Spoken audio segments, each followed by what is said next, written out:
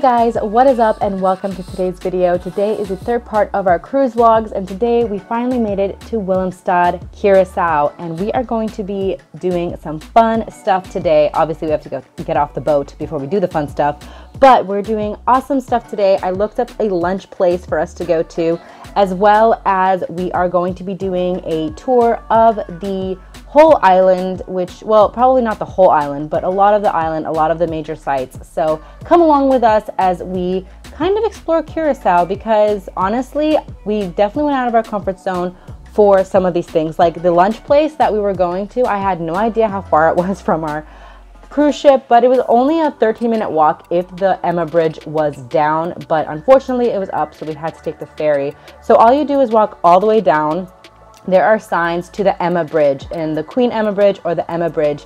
And when you get there, you'll see that it's either up or down. And if it's up, there is a sign that tells you to take the ferry. So you walk all the way down to the pier and you take a free ferry. Now, the ferry is free. I do want to state that twice, three times, four times. The ferry is free. I thought we had to pay for the ferry and I was about to be pissed but we didn't have to pay for I mean, I would have paid for the ferry anyways. I was just being a little a little dramatic right there, but honestly, I would have taken the ferry anyways. And I was so happy we were able to explore both sides of Willemstad. So the side we are going on right now is the Punda side, which is where they have all the shops and some eateries and things like that. And the architecture, oh my god, this is literally postcard. Like how beautiful is are the colors and everything of the buildings. So beautiful. And when we took our panoramic tour of everywhere, we noticed that even in like the not so like sexy parts of the city, still super sexy because honestly, all of the buildings were so colorful. So here we are at La Boheme and we ended up getting two smoothies as well as a ham and cheese toasty, which if you guys don't know what a toasty is, it's basically like a ham and cheese sandwich, but there's bread in the middle of the two other pieces of bread. So that's a toasty. And those are pretty common in the Netherlands. I'm pretty sure that's one of their like basics that you would eat there. Um, correct me if I'm wrong. I'm sorry. Correct me if I'm wrong, but I'm pretty sure whenever I watch other people's travel vlogs, they talk about toasties whenever they're like in Denmark or any of the areas over there. So there you go. We got some smoothies. They were superbomb.com. Um, I got a green smoothie, Rich got the mango, and I got the clockwork orange.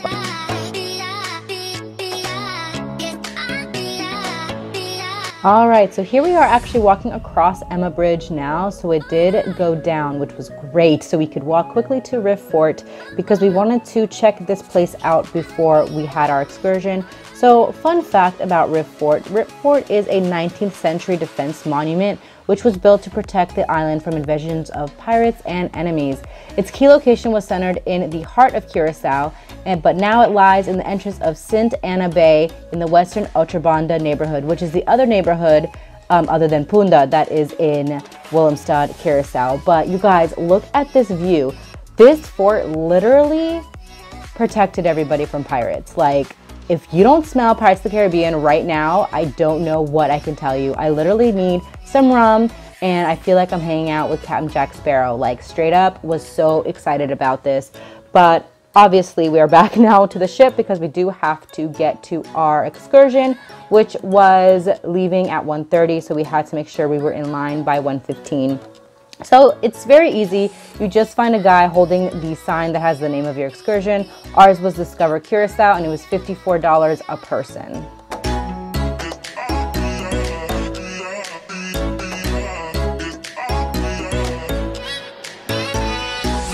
Alright guys, so now we are on the bus to take us to a couple of different destinations in Willemstad. The first destination that we are on our way to is the Museum of Curacao, which is going to show us a lot of different items and artifacts from the 1800s during colonial time in Curacao.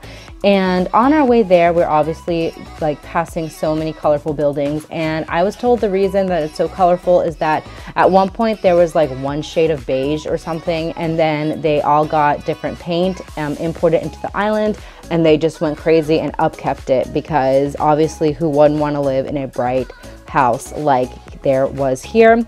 So here is the first stop. We are officially here at the Museum of Curacao or the Curacao Museum.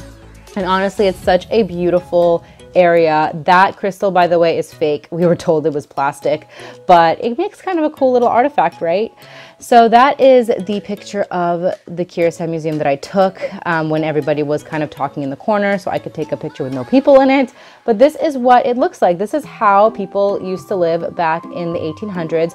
All of the wood items were made out of mahogany because apparently termites hate mahogany. So that's why they built everything with mahogany, mahogany furniture, all of that good stuff. And also, fun fact I believe all of the buildings are made with concrete.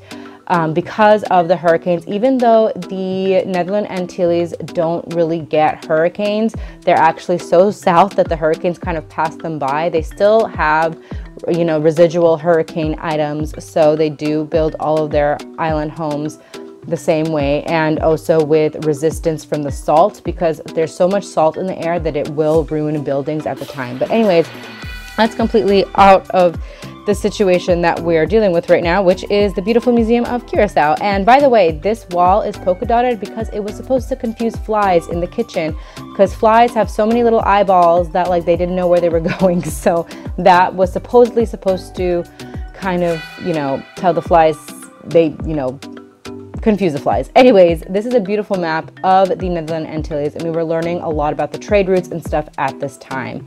And then afterwards, we were able to go outside and check out a few items, but let's go on to the next place.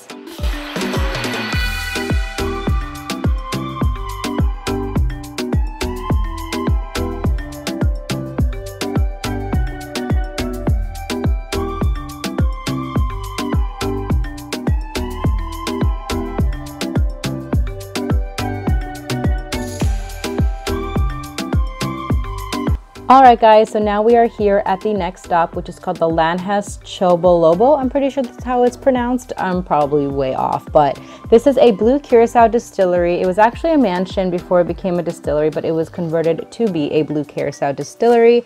And we just learned a lot about the history of Blue Curacao as well as the Jewish immigration to Curacao.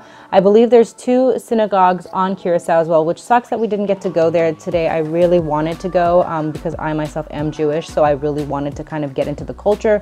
But unfortunately, um, on this tour, you're not really able to except for here at Blue Curacao Distillery.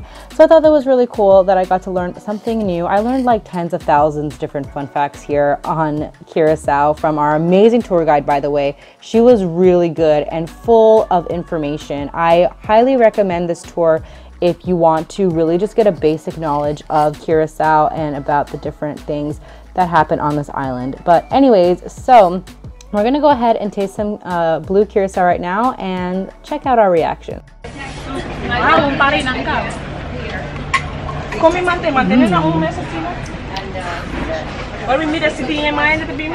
The tamarind. Tamarind. Mmm. Tamarind's super sweet. And then we're gonna try the chocolate one. You know what we can do? We hmm. can take all three. Oh my god, the chocolate one is so good. Yeah, chocolate one is the best. That was amazing. All right, so after we did our tasting, we went over to the gelato stand and they had these amazing gelato ice cream where you can actually put alcohol in it. But we just decided to get non-alcoholic. We got uh, vanilla and blue curacao tasting ice cream or gelato and it was, oh my God, so amazing. Like it was perfect snack. We also got two bottles of water because we were low key like dehydrated. So, anyways, we are off to our next destination, which I believe is the final destination of this tour. So, let's go see where we're heading off to next.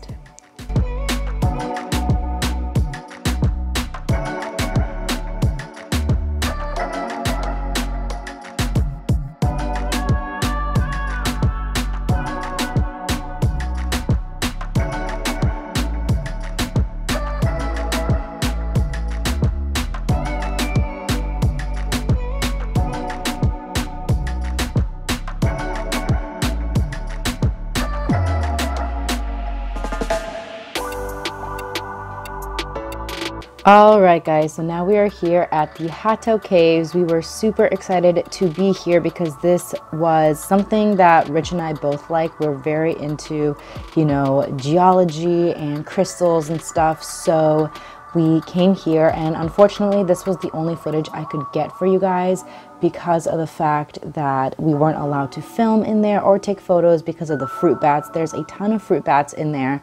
Um, and if you take photos, they'll just go blind and like hit their, their head on a rock and die.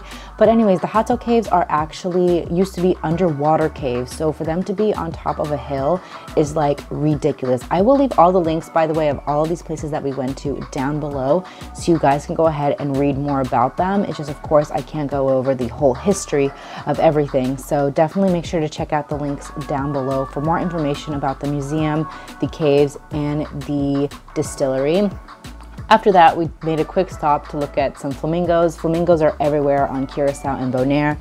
You're gonna see them more in our Bonaire vlog as well. But yeah, it's a flamingo sanctuary. All the flamingos are protected on all of these islands and they're just super cute. But anyways, let's get back to the vlog. Hey guys, what is up? So we are obviously back in our room now. It was a really, really great tour with Curacao. If you guys decide to book with Royal Caribbean, our tour guide was really good. It was Discover Curacao, so you ended up going to the Curacao Museum and the Hato Caves and distillery at Chocolobo, I think is what it's called, for Blue Curacao where we did a tasting. You guys saw all of that. But right now we're super hungry. I did buy one thing off of the island, which was just a magnet. I want to buy magnets from everywhere we go. But we went to the Cafe Promenade and just got some stuff to munch on in between dinner. We did end up doing reservations at the main dining room for My Time Dining. We did it for 8.15. It is currently like 5 something, so we wanted a little bit of a snack beforehand. It's also, it's also Caribbean night, so we're dressed up in our just outfits that we wore today because we wore Caribbean outfits today. So anyways, I'm gonna go check in back in with you guys when we go to the main dining room for lunch lunch or for dinner. Oh my God.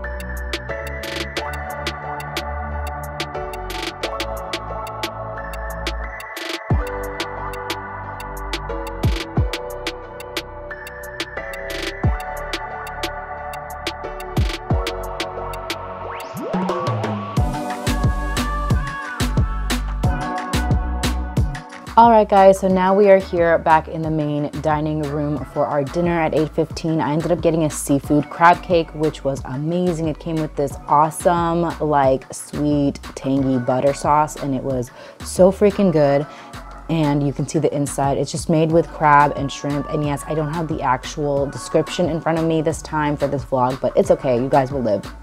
Next, I did get a New York sirloin with chive and onion butter and it was so good as well and then Richard got I think some sort of a shank or something um, for his dinner and then for dessert I didn't want anything sweet so I ended up getting the cheese platter that they have the cheese and fruit platter and it was like okay I was kind of sad I got that to be honest and, but Richard got the New York cheesecake, which was bomb.com. I really wish I got that for my freaking dessert, but alas, didn't. Then afterwards, we went to the show, and it was actually really good. It was music and dancing at this time. Hey guys, it is finally the end of the night. We are about to go to bed. Tomorrow is actually Bonaire. We thought it was Aruba tomorrow. At least I thought it was Aruba tomorrow.